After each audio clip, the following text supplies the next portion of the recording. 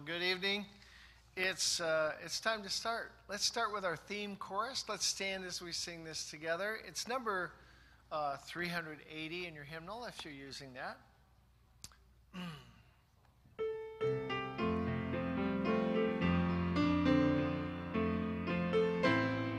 All right, everybody in. Here we go.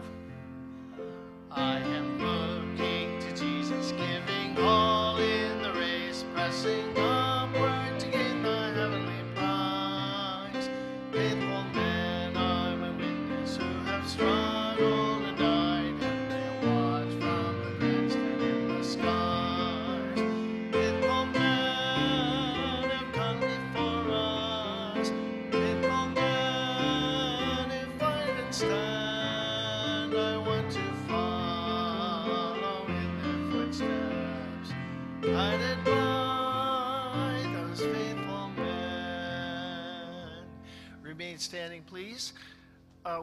like to sing number 504, Oh, Say But I'm Glad.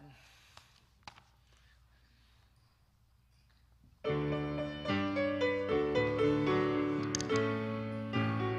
right. There is a song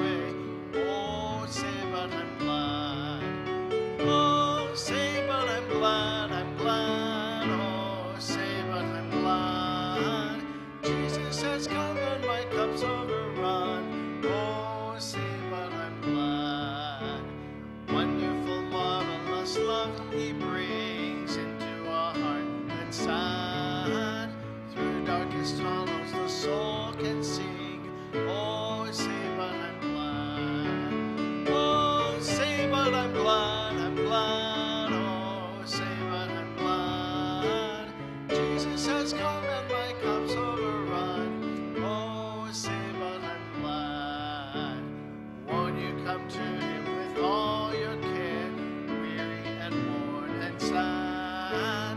You will sing as his love you share. Oh, I'm glad. Oh, I'm glad, I'm glad. Oh, I'm glad. Jesus has come and my cup's. Oh, I'm glad. Amen. Please be seated. If you need a prayer list, lift your hand. I think most of you have those. We'll get those to you. Let me a- have you add a couple of items there, uh, in addition to a couple that I'll highlight. Carol Mood ha- has some serious medical needs and was um, happy to have us put um, her on the prayer list. Marilyn Olson is doing much better. A couple ladies were over there last night. Bert and Judy Kyle have just been wonderful help, as was uh, so, as were so many people on Sunday, and she's very appreciative of uh, everyone's help and concern. Um, someone was out to see Larry Turner last night. S- marginal improvement, slow, persistent pain in his tongue, also needing to get an injured shoulder looked at. So pray for him. And then various updates here. Um, Verity is making progress little by little. Uh, Lynette Van Vlack's surgery is going well. Pray for Bob Sutton, Nancy Hurst, and right down on down through the list. One I would have you add is Lee Williams. She about three or four weeks ago she fell, fractured the top of her humerus. That's the shoulder area, and so she's in a sling. So be praying for her if you would. And happy to report that uh, uh, the Needhams are back in Cameroon, and they are there. Um, and their next step is to get the airplane one hour north to Bafoussam, get those extra fuel tanks out of there so somebody else can ride, and uh, give an oil change and just uh, kind of look it over a little bit. And so uh, they are uh, they're just thanking the Lord.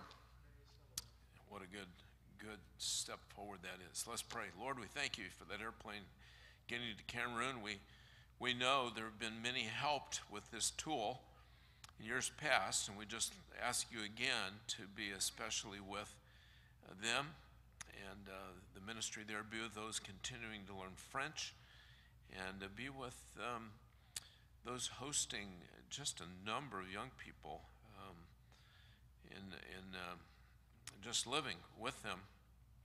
And uh, Lord, pray for Brother Swanson, the Needham son-in-law, that he's he's recovering from a very serious illness and making some progress there. He's back in Cameroon, teaching a Bible Institute, but surely, Lord, we know he's having to pace himself. Ask you to help him.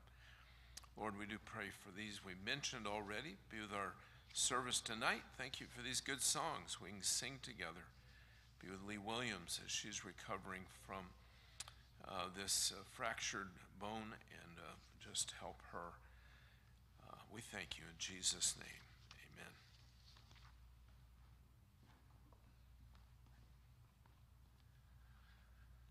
Number 460 in your hymnal is He Leadeth Me. Let's sing this together.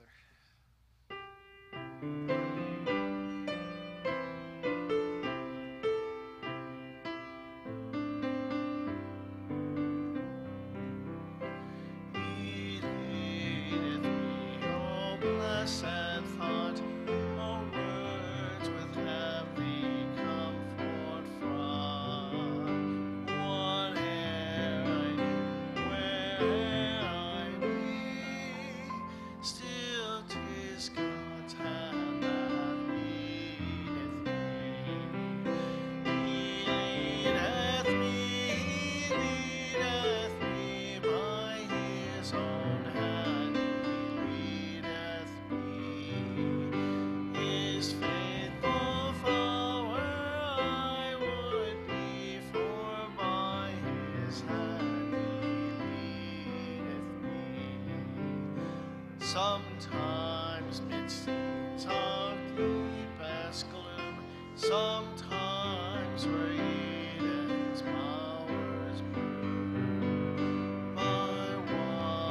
still more troubled sea, still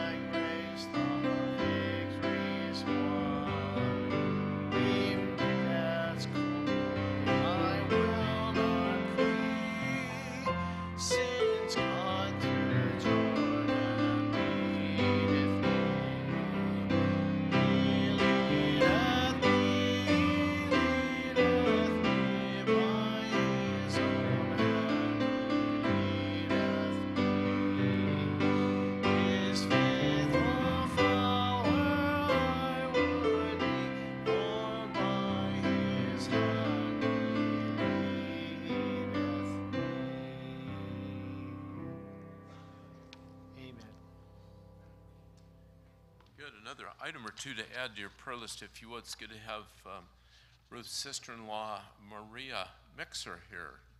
Had surgery. We want to keep praying for you. And then uh, the Burleys are uh, traveling by vehicle to Colorado and back over the next about a week, I guess, so pray for them as they travel. I want to read just an excerpt or two before the announcements, if I could, from uh, missionary prayer letters. Um, numbers of times our missionaries comment on you folks and the interest that you show, um, the concern, the help. Uh, so grateful for the prayer. Uh, so, uh, from the Reardons, who are now stateside in furlough, but this came in right before they left on furlough. He, he wrote this We had something this week that has never happened before. The tracts we give out have a place on the back where, if the recipient gets saved, he can write his name and address. A man named Socrates took a picture of the tract with his information on it and sent it to my phone through WhatsApp. I talked to him.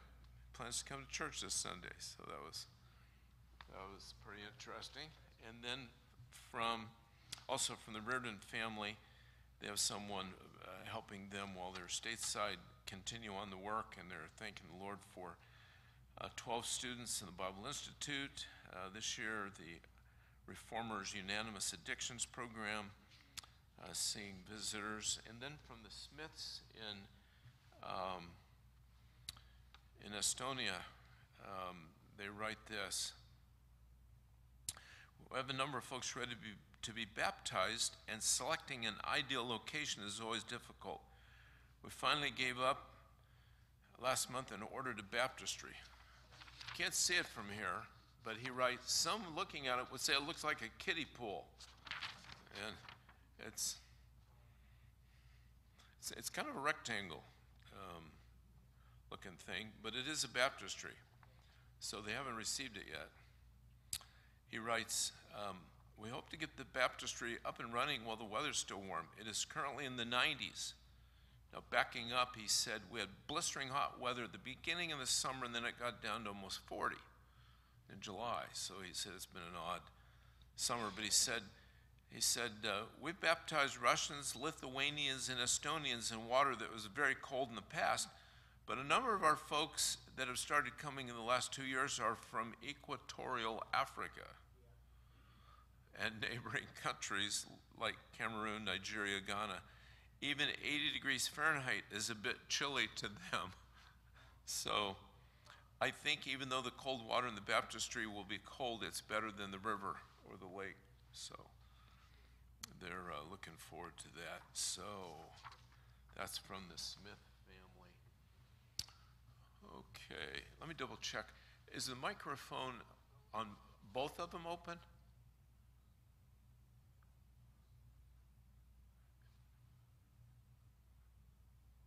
Not sure what that signal meant, but it sounds like sounds like I'm getting two microphones. I don't know.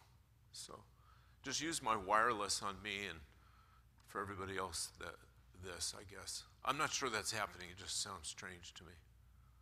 Maybe you're trying to keep me awake tonight. I don't know. Okay. Um, so, real announcements here.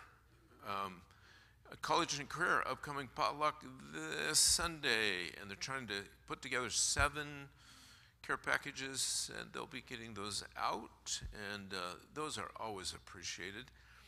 Then the Children's Harvest Carnival coming up. See Brother Guru if you have questions. Dan the Carnival Man himself is here tonight out of uniform. we'll find him. We'll find him. Okay. Then again, if you're home educating, just a reminder the Christian Educators Conference coming up, and we'll try to get a list of workshops out. And uh, then the Missions Conference, just kind of a calendar a note for you to save the dates. Uh, Wednesday through Sunday, November 9th through 13, although nothing on Thursday night. Um, Dr. Bill Dillon, Brother Dave Kriegel, um, missionaries to some countries that I try not to say online, uh, uh, uh, live stream, so you know where they're from. Okay. Um, keep all those in mind. Let's sing one more time if we could.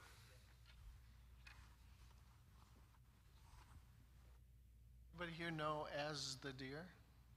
Let's stand as we sing this And let's sing it two times 497 if you need your hymnal for that.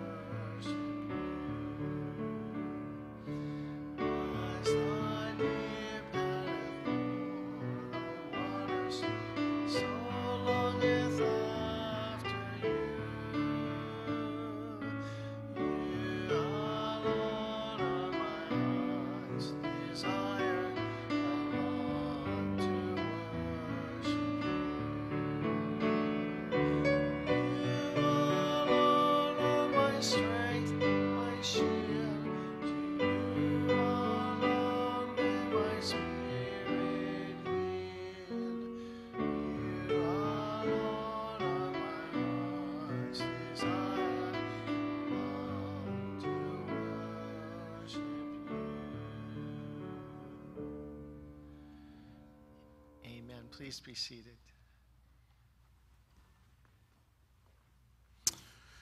Good. Thank you to, for, to the teens who volunteered to read some scripture in a little bit, and uh, thank you for being ready with that. And we'll look forward to your participating.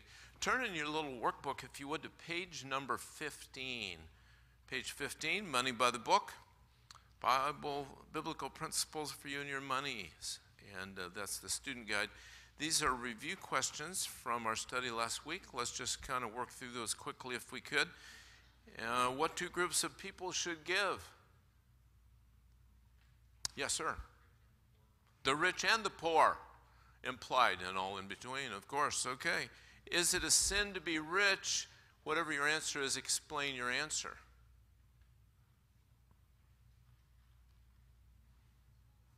Yes, sir.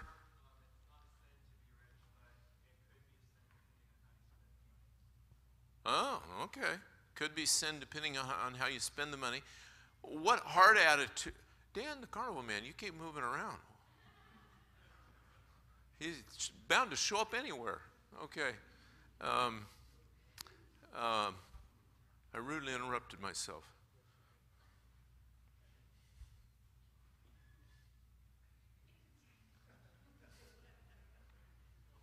Finish my question and give the answer. Is it a sin to be rich? Um, no. Oh, it's the hard attitude. It's the love of money that's problematic uh, to us. Uh, I've, kn- I've known some people whom God blessed in marvelous ways who are really have been used of the Lord. And um, so, uh, question three What three things should believers give? Time? Good. Talents? Offerings, okay. There are three things the book kind of highlighted. These other two are great. They're right.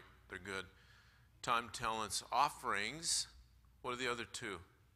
Yourself. Tithes, good. Okay. Self, tithes, offerings. Question four. Summarize how we should give. In other words, give some synonyms to such words as purposefully, cheerfully, willingly, liberally, obediently, sacrificially, consistently. Okay? And then five, where should tithes, and I'm going to change the question a little bit uh, just based on um, kind of my, my own practice, and most of your offerings go?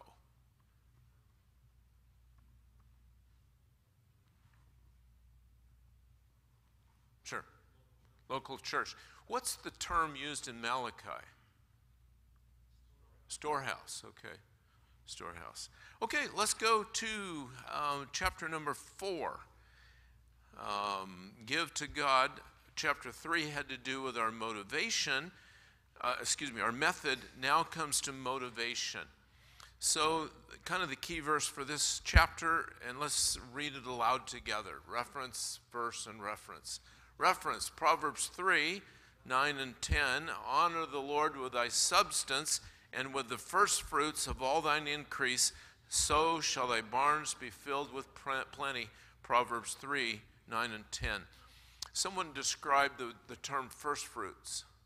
What's that all about? It's an agrarian term. Okay, from the from okay, from the top, from the gross, first of the best. Now, when it comes to fruit, uh, the, the first may not always be the best, but it's, the, you know, it's what you've been looking forward to. I can remember going out in the strawberry field and hunting for a half ripe red strawberry, meaning the other half was green, and man, we loved it. I don't recommend it, but um, first fruits. It's, it's much on that another time. All right. So, why are we to give? Why are we to give? Um, giving should flow naturally from a thankful heart. And uh, if, um, if we don't have a thankful heart, we're probably not going to not, not going to uh, have a natural flow to our giving, just kind of looking for a way to be a blessing to folks. So let's consider a few reasons for giving uh, that will rekindle a heart of devotion to God and renew a motivation within us. So, in your notes there, God, first of all, commands us to give. How many of you like commands? Well, I guess you would say depends on what they are. If they're safety commands, bridge out ahead, do not go any further. Does that sound like a command? Do not go any further. I don't think that's the way they write it, but uh, stop, bridge out, do not proceed, whatever. Um, it's for our good. You know, a lot of times, um, as as when we were children, our parents asked certain things of us. We didn't always understand it till we kind of got a little older, and then it started to make sense. Oh, I see why why uh, mom and dad said do this or don't do this. Someone wrote this because God loves us, He would never require something of us that is not in our best interest. That's not always easy to keep in mind when you're going through the fire. I had someone um, one time, I'll put in my own words, say, Man, it's just one medical matter after another. And, and it was. It was just unbelievable. And uh, What's next? Well, they were a person of faith, and they were, they were camping out on Hebrews chapter 11. Giving demonstrates our love for God. I think we have a teenager with 2 Corinthians 8 8. Melody.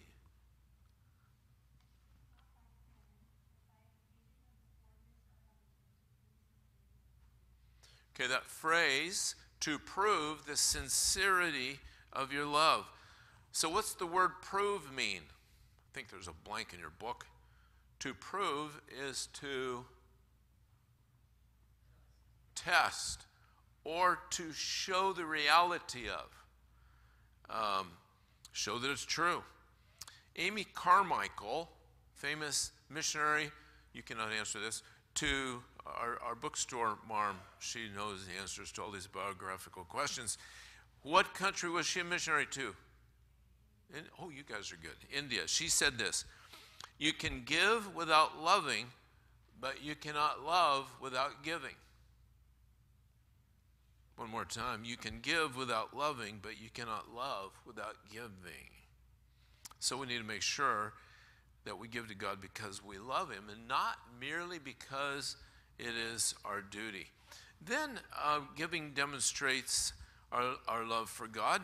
Then, then uh, in that same verse that was just read, 2 Corinthians 8 8, to prove our sincerity. Um, what's the synonym for sincerity? Genuineness.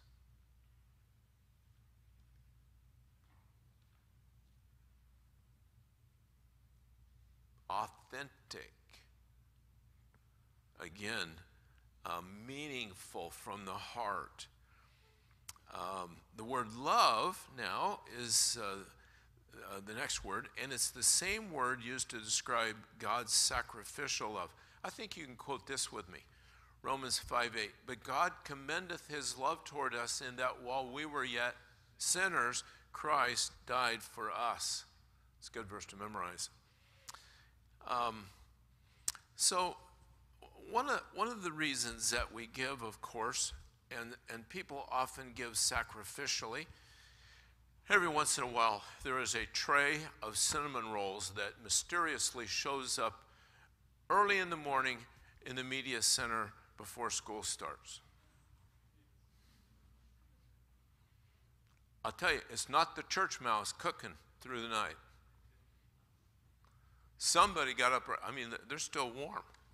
Somebody got up early, sacrificially to be a blessing to others. You know, I've never seen a note. I, so and so, got up at the crack of dawn to bless all of you hardworking staff. Sacrificial doesn't bring attention to themselves. So I'm going to ask you this question How do we express our love uh, to others in the various relationships we have? Just a, just a general answer to maybe not as specific, but how do you show your love? Yes, sir? Action. Okay, specific kinds of action would be a kind word.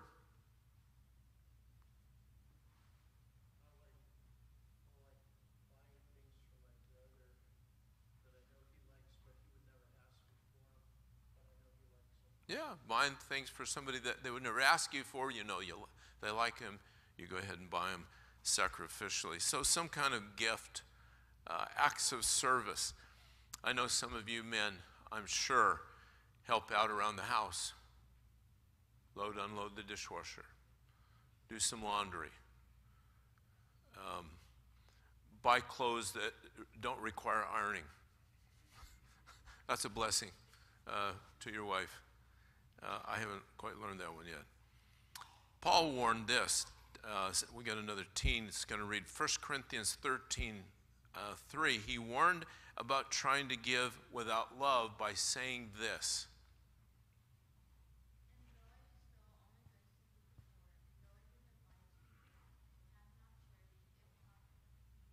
That's giving, isn't it? Bestowing all your goods to feed the poor, and though your body be burned, the scripture says, um, if I have not charity, it profiteth me nothing. That is thought provoking, isn't it? That's, that's kind of the opposite of giving grudgingly. Yeah, the Lord loveth a grudging, a cheerful giver. And then the Lord watches our giving. We're not going to review this, but last Sunday, just so happens that Mark chapter 12, we looked at the widow woman who gave two mites, and uh, um, Jesus sat over against the treasury and beheld. He watched, he looked. He noticed. And as he noticed this lady, he made some observations. So in your notes, he watches who gives? The rich, wanting to be seen of others, the poor, just giving sacrificially over means to God. He, and he watches how people give. Um, what's their motivation? What's their attitude? He sees what is given. Although rich people cast in much, and the widow, poor widow lady, gave um, of her two mites, Jesus said that she cast in more. That was his analysis. So I, I, don't think this passage, some might teach this, but I don't think this passage is teaching that we should give all of our money. I mean, just every Sunday come and put your paycheck in the offering. I don't think it's teaching that. I think it's teaching that as we give, it's, it's the heart in the giving that the Lord really notices. George Mueller, another quote, uh, said this God judges what we give by what we keep. It's kind of thought provoking, also, isn't it? And then giving brings joy. Uh, so many Bible principles um, are just the opposite of today's conventional thinking. I think we have another teen ready to read Acts 20 and verse 35.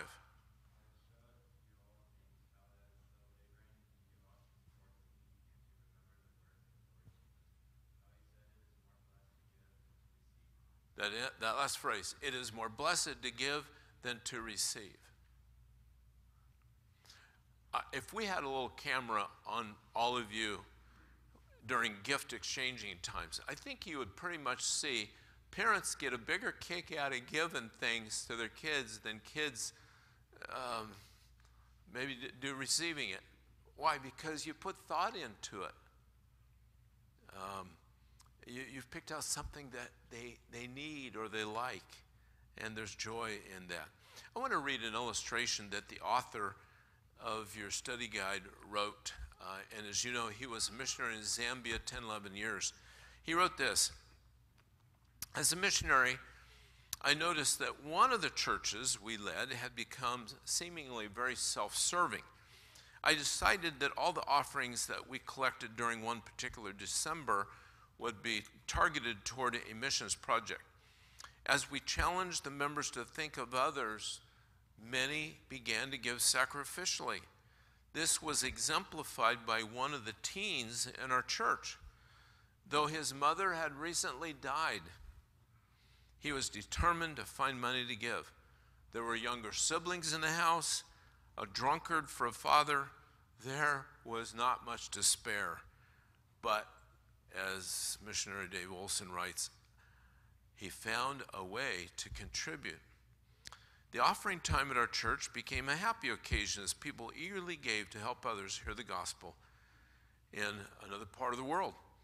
We had set a goal of raising $100. But the people surpassed our expectations and gave $192. Now that was huge for them, almost double.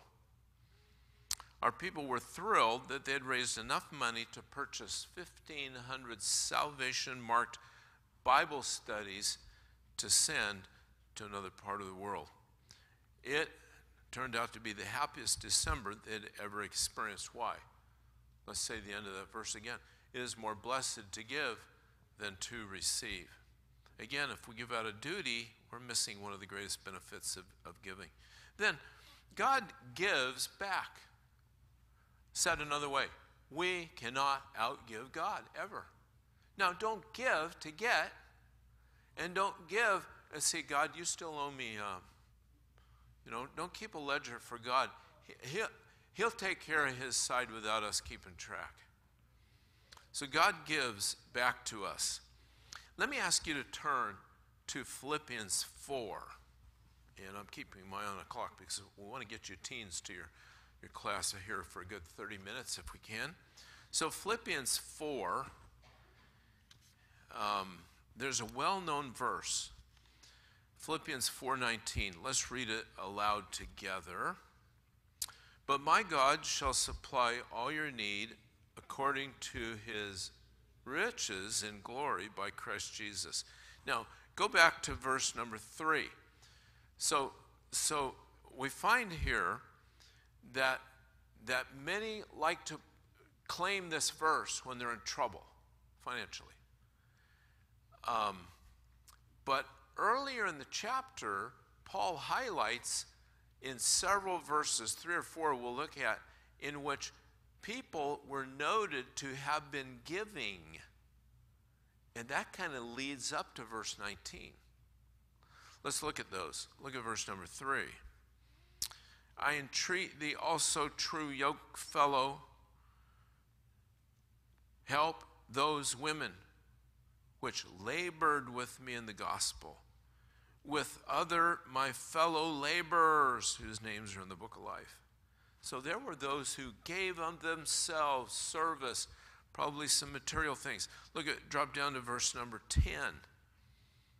I rejoiced in the Lord greatly that now at the last your care of me hath flourished again, wherein ye were also careful, but you lacked opportunity. So they found ways to care for him, help him. Look at verse 14. Notwithstanding you have well done that ye did communicate with my affliction. Communication is more than just writing a note. It's, it's showing sometimes tangibly or praying or many ways. But he said, he said um, there in verse 14, you did communicate. You did meet my needs. Then one more, verse 15, and this is particularly powerful. Now, you Philippians know also that in the beginning of the gospel, when I departed from Macedonia, no church communicated with me as concerning giving and receiving, but ye only. They were a, they were a special church. Verse 14. Others didn't. You did, he says to these in Philippi. Who knows the name of the lady? I'm going to ask a teen to give this to me. Who knows the name of the lady who had the ladies group a meeting down by the riverside in Philippi. It's Acts chapter 16. The name of the lady, she may well have been one of those who helped because, in light of her vocation, we think she was probably somewhat well to do. Anyone know her name?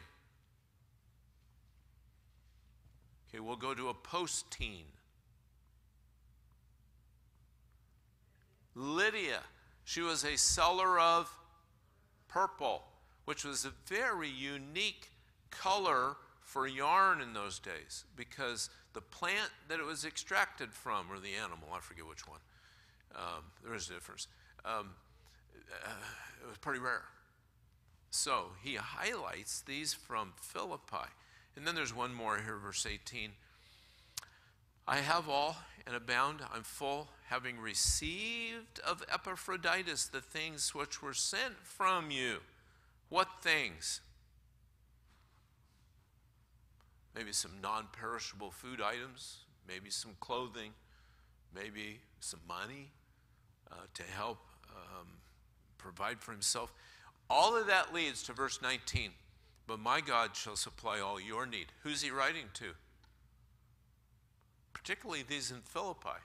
Now, sometimes you and I may go to prayer and we say, Lord, could I borrow this, this, this, this scripture and camp out on it for myself? Could this be true for me? My God shall supply your need according to his riches and glory by Christ Jesus. So that's a, that's a wonderful section to contemplate. All right, so God gives back. Um, listen to Luke 6:38. Give, and it shall be given you. Good measure, pressed down, shaken together. How many of you have a refuse bin that you put out one day a week for the garbage man to come and pick up?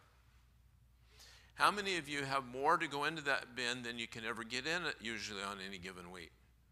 How many of you get a, a safe way of standing up and jumping up and down on it so you can get more into, okay, good man, good man, uh, good lady, okay, good job. Yeah, I did that a while back and I wasn't safe, and over everything went the bin, myself, the stuff that I've been trying to tamp down. Oh, I wonder if my good wife would come hold my thing while I jump up and down on it. Press down is the point. In other words, it's, you get the idea that God's just looking for ways to give you more than maybe you, you would have had opportunity to receive it. With the same measure that you meet, with all it shall be measured to you again. When he loads your basket, he, he presses it down to make more room and then, and then adds more until it finally overflows. We have another teen with a scripture, Proverbs 11 24.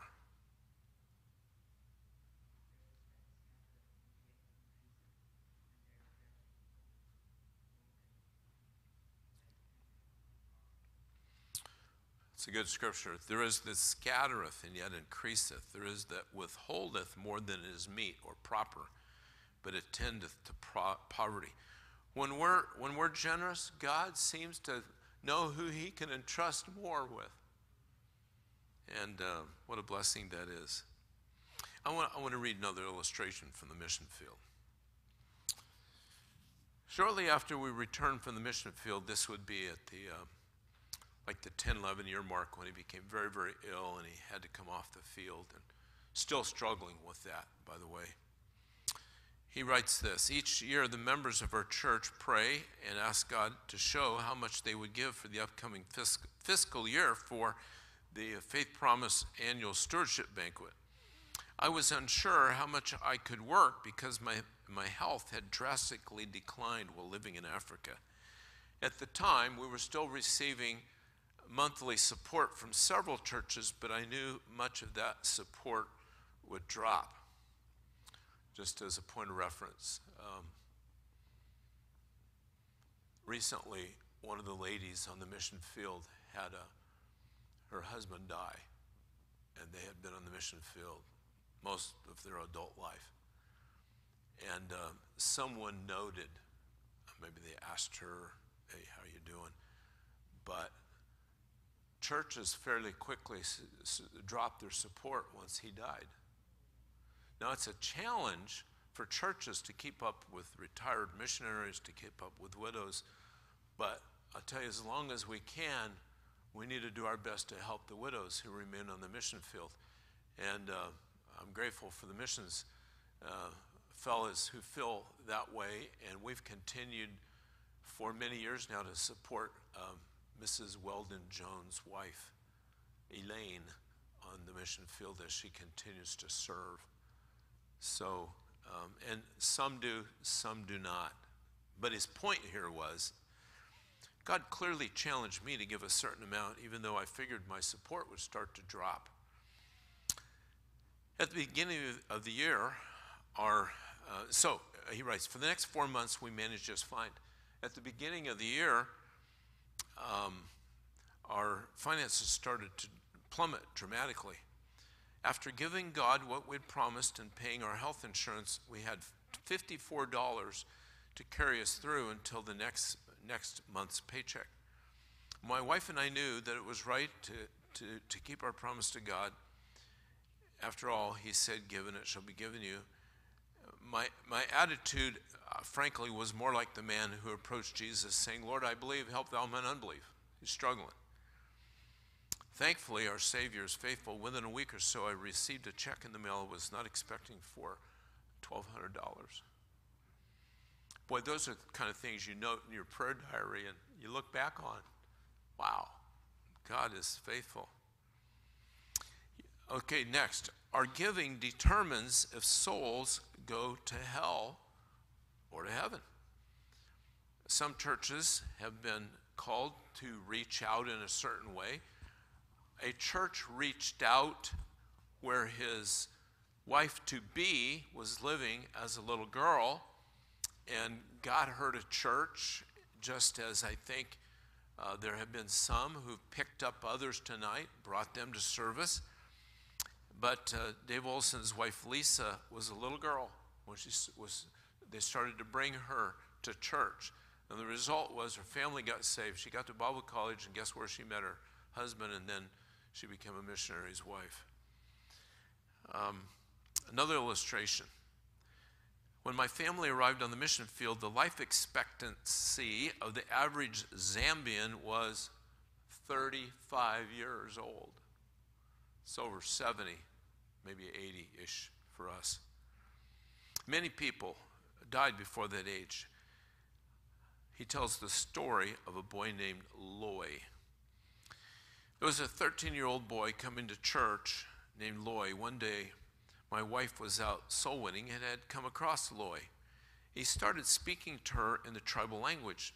At that time, my wife could only recognize one word in that language the word Bible. At first, she thought he was asking for a Bible, as so many people do. The lady she was out with, though, did know the language and translated what he really said. He said he was asking them to come by his house so they could teach him the Bible. They went, witnessed to him and his mother. Both prayed to receive Christ. Lloyd became very faithful to church, always had a sweet spirit. A couple of months later, he was baptized and um, kept growing. Within a couple of months, Lloyd got sick, and less than a week later, he died. Normally, I do not enjoy preaching at funerals, but it was much easier to preach this time because of his testimony. About 200 people came from the town and heard a clear salvation testimony, partly because this boy had such a good testimony in the community. Here's the rest of the story. I wrote that incident in a prayer letter back in the year 2003. When he wrote that, he said, What I did not tell you was that we had raised our support to go to the mission field in what turned out to be record time as far as averages are concerned. Had we been on deputation twice that amount of time, like often is the case, Loy would have been dead long before we arrived. I'm glad people saw the need to give to the cause of missions. 3 John, verses 5 and 8. The apostle commends the believers for their sacrifice in helping those who are carrying the truth to the regions um, beyond. Listen to verse number 8 of 3 John.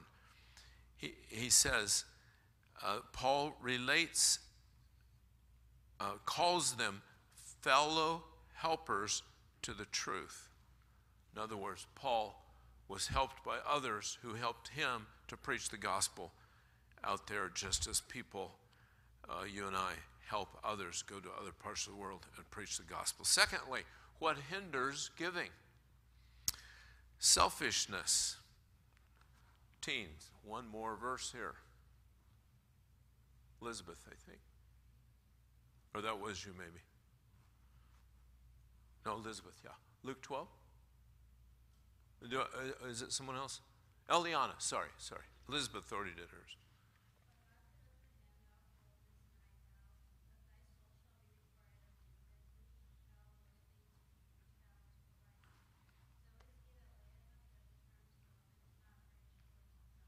Thou fool!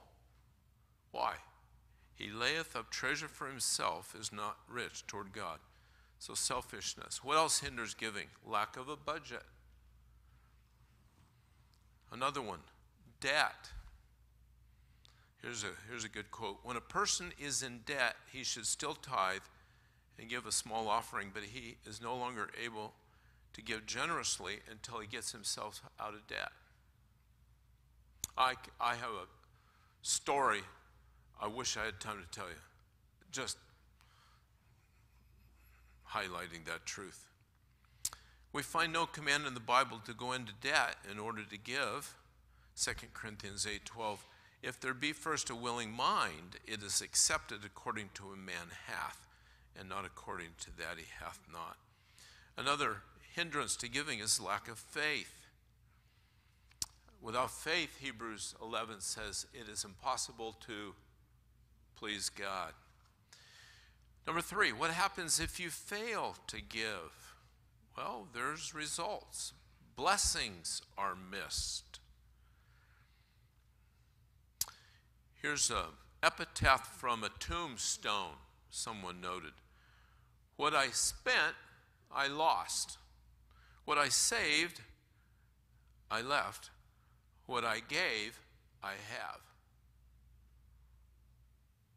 That's thought provoking. What I spent, I lost. What I saved, I left. What I gave, I have. And then in Malachi, a curse is given when we fail to give according to God's direction. I think our last teen here, Malachi 3 9, says,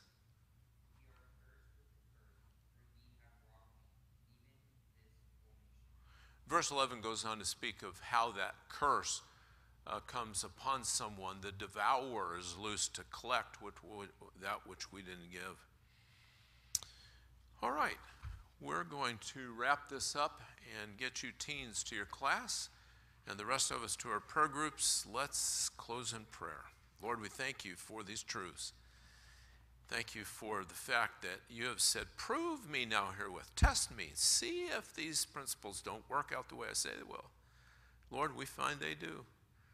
And thereby we have testimonies that bring joy and blessing and then can be used as an encouragement to others, highlighting you, not us, but others who are blessed by God. Thank you for this time together. In Jesus' name.